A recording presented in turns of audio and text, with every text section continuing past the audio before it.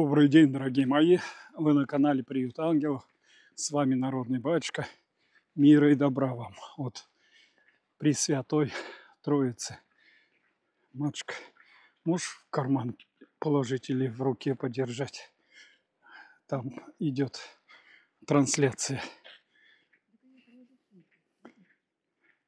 Ну, там далеко, и ты, если что, вытаскивать.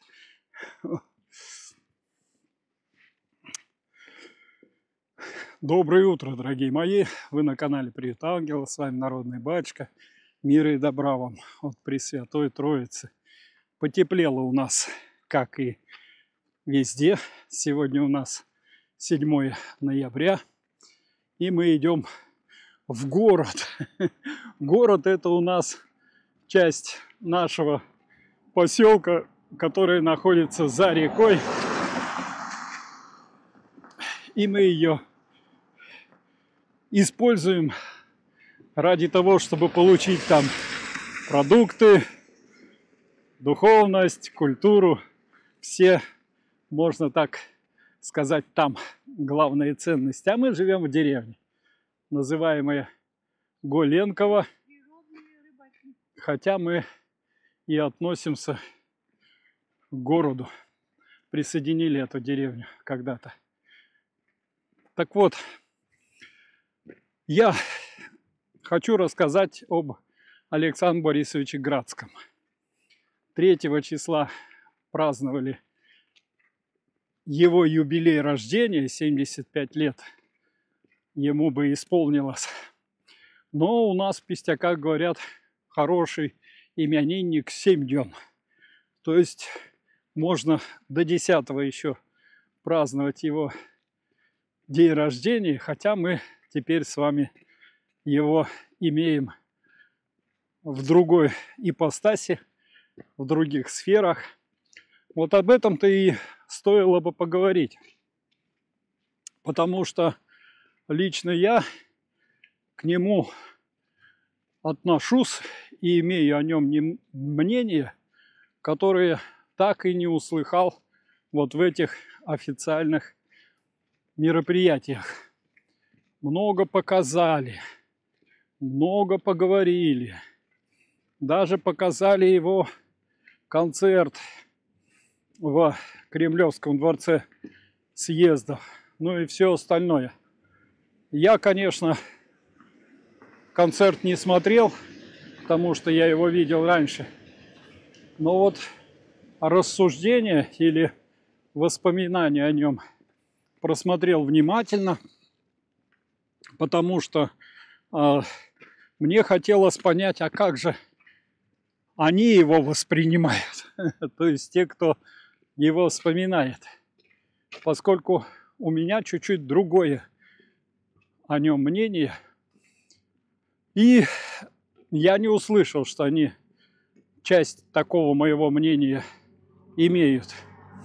И давайте я вам расскажу, что за мнение у меня насчет Александра Борисовича. Мы с ним встретились в 1988 году.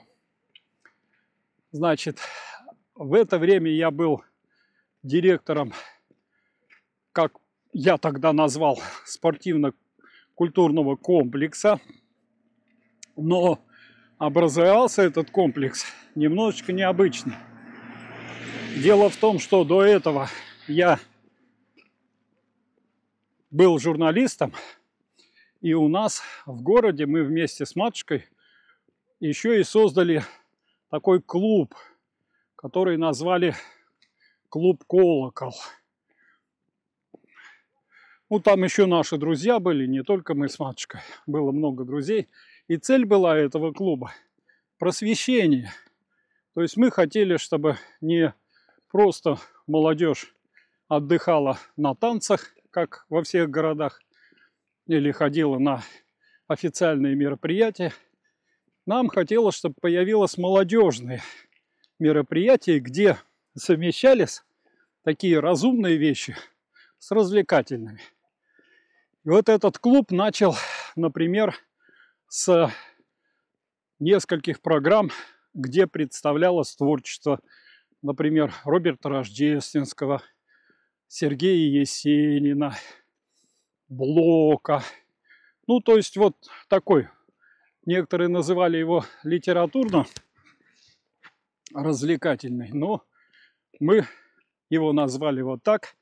И он заканчивался танцами, заканчивался дискотекой. Это тоже было новшество в нашем городе, которое мало кто принимал, потому что к этому времени все танцы были, обслуживались ВИА. ВИА. Поскольку ВИА, вокально-инструментальные ансамбли, были очень популярны. И поэтому, когда мы на первом вечере включили дискотеку, где нет ВИА, где только оборудование, то танцевать никто не стал. Но потом привыкли, потом дискотека стала нормально, дискотека стала конкурировать с ВИА. Но дело не в этом. Дело в том, что к... начали мы этот клуб в 1980 году, а к 1985 году его признали лучший молодежный клуб Ивановской области. За это я был отправлен на фестиваль молодежи в Москву. И мы там очень хорошо провели, как говорится, время. А потом еще и отправился в этом же году в Японию. И свою мечту побывать там, посмотреть культуру Японии, что там в этой Японии такого необычного, я тоже осуществил. И вот на фоне, как говорится, всех этих моих или наших достижений вызвали меня в конце 1985 года в райком партии и попросили, Михаил Сергеевич, мы видим ваши успехи и в том-то, и в том-то, и мы вас просим возглавить районный дом культуры, дворец культуры. Дворец культуры строили 20 лет, потом запустили его, открыли его, но почему-то никак не развивался. Ну, я знаю почему, не будем мы об этом говорить. Ну, я очень мне нравилась журналистика. Скрипя сердце, пошел туда работать, чем вызвал некое неудовольствие людей с культурным образованием, так как у меня не было образования культуры. А я пришел туда, там были с высшим культурным образованием. Но я не стал спешить. Со мной перешла матушка. Она стала в Доме культуры методистом. И целый год, 86 и даже начало 87 -го года, ну 86 я просто смотрел, что делается в культуре и как в этой культуре можно что-то делать по-другому. А в это время пришла Горбачевская перестройка. И были приняты законы о кооперативе, об индивидуальной деятельности. Ну, в общем, когда я их хорошенечко прочитал, то оказалось в нем, в этом законе о кооперативе, скрыты великолепные возможности. Так как по тем же правилам можно было организовывать культурные заведения и мероприятия. И я придумал эту систему, где Дом культуры становится государственным, можно так сказать, имуществом. Часть коллектива, оплачиваемая государством, является управляющим составом этого Дома культуры. А часть коллектива или эти же люди, которые здесь работают, могут войти в кооперативы. Кооперативы какие? Кооператив по эксплуатации здания, это технические работники. кооператив по организации мероприятий, кооператив по помощи сельскому, сельским клубам, потому что не дом культуры, а еще 38 сельских клубов у нас было. Плюс сами мы в конечном итоге эти клубы организовали. То есть в конечном итоге у нас было 79 кооперативов в Доме культуры, которые каждый занимались своей деятельностью, и она оказалась очень успешна. Э, в то время стали популярны видео салоны. Мы взяли у людей сначала, которые живут в Пестяках, в родниках, в родниках, матушка подсказывает. Господи Иисус Христос, помилуй нас грешных. На прокат эти видео уже, они были у некоторых частных. Ну и за 1987 год заработали большие деньги. То есть на то время заработать Дому культуры больше, чем ему дает государство, было невиданной вещью. И так как мы уже выдали все зарплаты тем, кто в эти кооперативы вошел, так, например, зарплаты у культурных работников выросли в 4, в 3 раза, то есть большие стали. Иногда, значит, это даже приводило к некоторым недоумениям.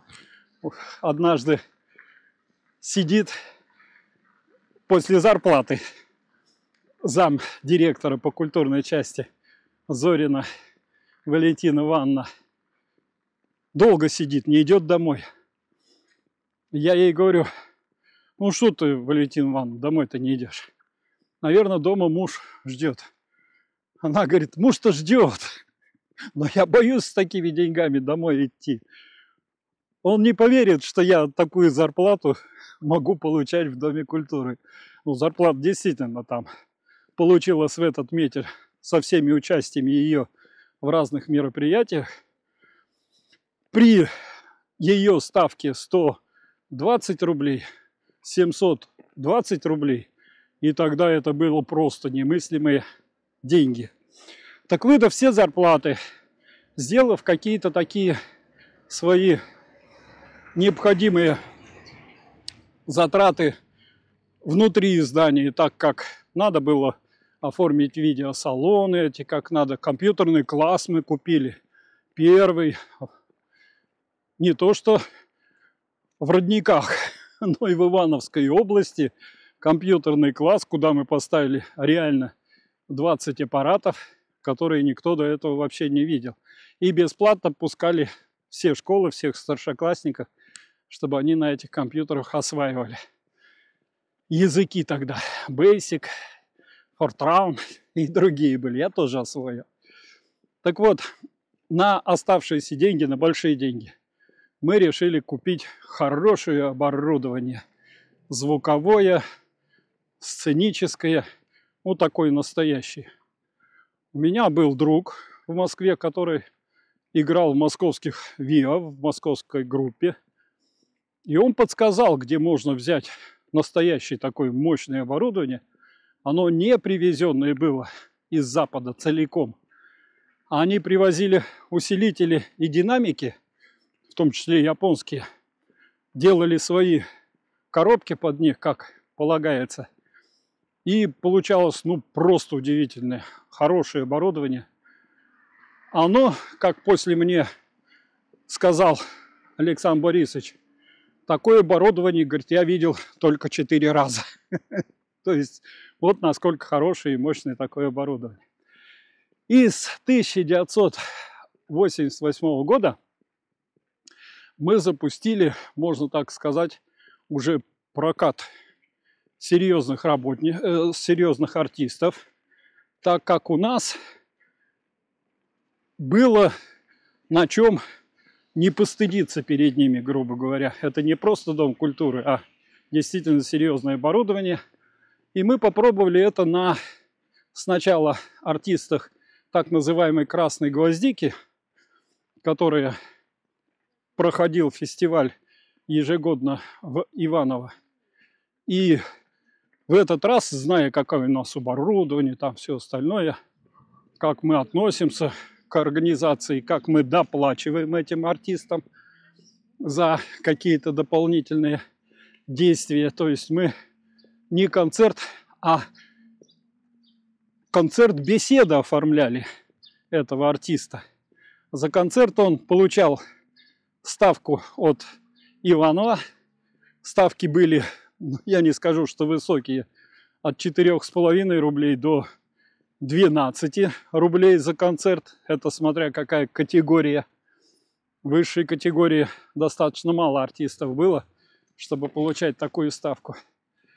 Так вот, когда мы объявили, что кроме ставки будут еще дополнительные заработки по нашей кооперативной системе, и надо поговорить с людьми, когда ты выступаешь, то к нам приехали, можно так сказать, лучшие представители этой красной гвоздики.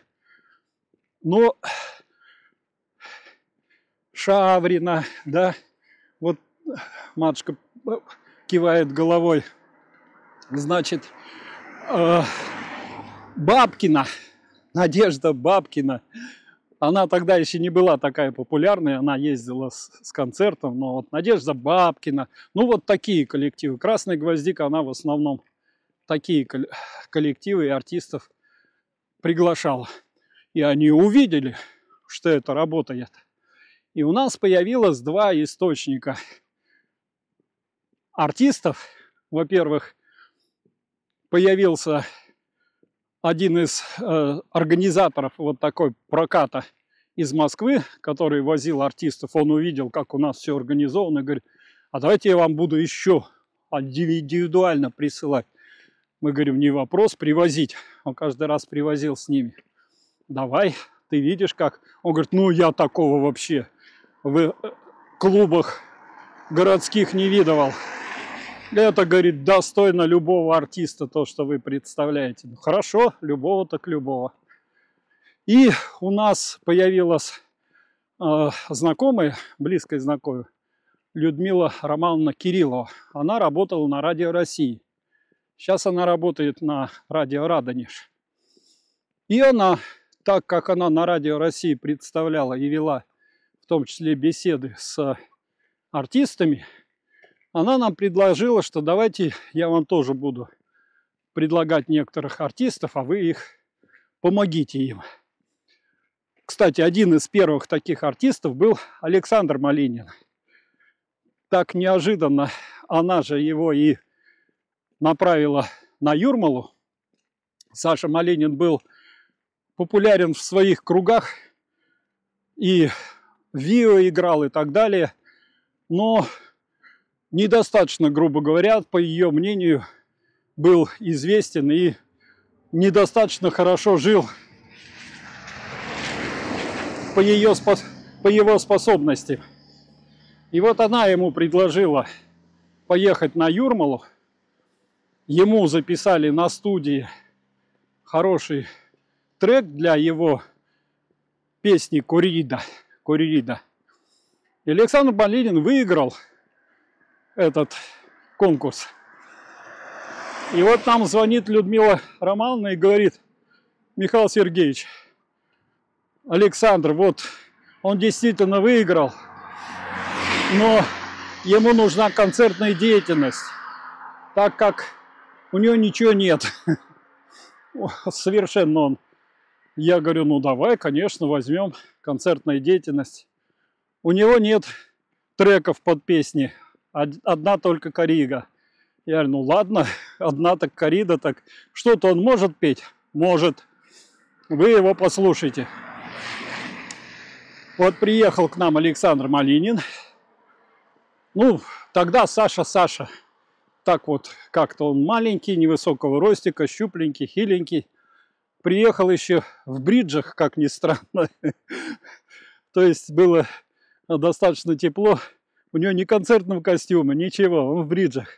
Мы ему дали э, какие-то э, трико, да, трико, он матушка все время вспоминает, говорит, а он все время подтягивал, оно все время с него спускалось, когда он пел.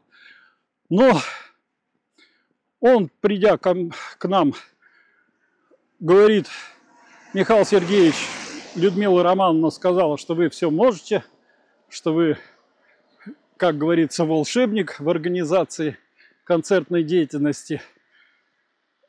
Давайте попробуем. Я говорю, давайте. А что у вас, у, у тебя на ты?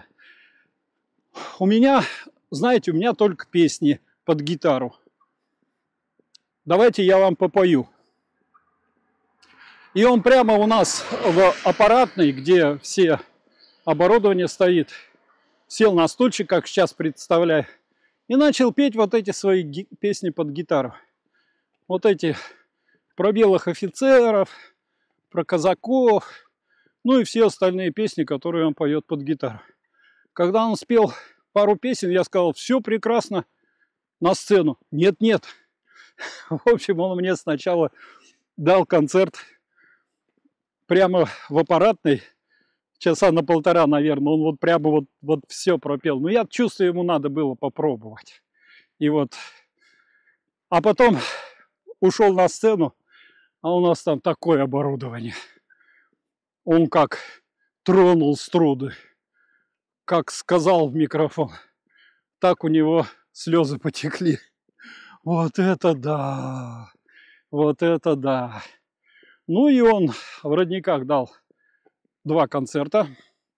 И еще несколько дней мы его с этим оборудованием прокатили по городам Ивановской области, Вичига, Шуя, не помню, ну вот еще.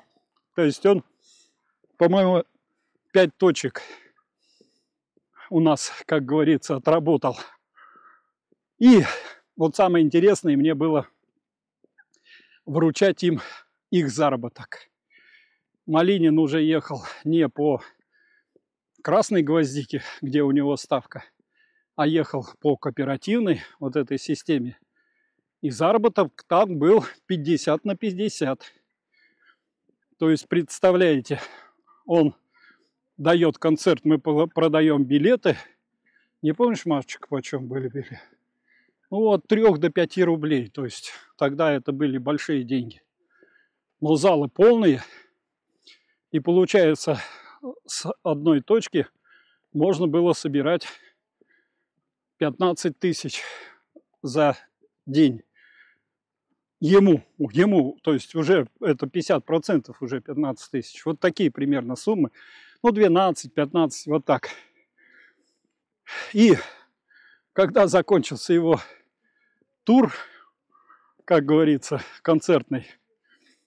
А деньги были в, в купюрах, значит, тогда еще мелких. 1988 год, когда там реформа-то? В 91-м, 2 появились уже. А тогда это было даже в дипломат нельзя было убрать такую сумму, которую он получал. Вот, это такой большой мешок с деньгами. И вот я положил перед ним эти деньги. Он выпучил глаза. Так, уж извините, я таким образом крайне удивился. Очень сильно благодарил. А после мы на своей машине отправляли их в Москву. У нас на этой концертах, с этими концертами, перебывали все ВИА, которые были в Москве, то есть пламя, самоцветы, значит, ну, много их было. Не смогли мы только а, получить песняры, у них зарубежные были в это время гастроли, и, по-моему, Ариэль. Мне сильно хотелось Ариэль. По-моему, тоже до нас не доехал Ариэль. В общем, артисты практически все, ну я-то в основном помню Евгения Леонова. Вон матушка вздохнула, да, какой это человечище оказался. нам-то казалось, ну вот такой юморист, мы так его. А он три часа на сцене. Причем приехал в холод страшный у нас. Было на улице 32 градуса. А что такое дом культуры, сами все понимаете. И у нас обогревающие батареи только сзади на сцене. Если стоишь, то около них там в метре маленечко греет спину. А если приходишь на край сцены, к рампе, то холодина страшная. Мы зрителям разрешили сидеть в пальто, как они могут. Предупредили, что даже варежки не снимайте. А его говорим, стойте ближе к, к этому, к стене. Подняли все задовеси, чтобы, ну пусть голая стена, зато тепло человека. Он сказал, хорошо, хорошо. Но как вышел на приветствие к рампе, так с нее и не сходил. То есть уже на второй концерт опустили задний занавес, чтобы у него был, значит, фон красивый. Ну и три концерта. Это удивительно. Между ними они у нас останавливались в коморочке, где можно было поспать, попить чайку, кофейку. Ставили мы и коньячку, хотя были такие времена. Горбачевская была антиалкогольная компания. Но артисты но, тем не менее, мало кто его потреблял. Некоторые потребляли, но а, Леонов нет. Кто вот... Меня поразил еще Пуговкин. Пуговкин тоже. Ну, замечательно. Тоже все оказалось не так смешно. Такой глубины человек, такой серьезного отношения к жизни. Зрители были в полном восторге. Мы за 88 год провели около 70 таких вот концертов, заработали колоссальные деньги для Дома культуры. На эти деньги еще открыли клубы. На эти деньги докупили оборудование еще. Сельские клубы во все, в том числе и новых, как говорится, работников взяли за свой счет. Потому что в сельском клубе один-два работника, как правило – мы стали доплачивать, там стало 3-4. И это очень подняло сельскую такое желание сельской культуры зарабатывать. Они тоже стали кооперативами у нас. В конечном итоге в управлении нашего культурно-спортивного комплекса было 700 человек. Было больше 120, ну, можно так сказать, вот таких предприятий. Только в Доме культуры 79.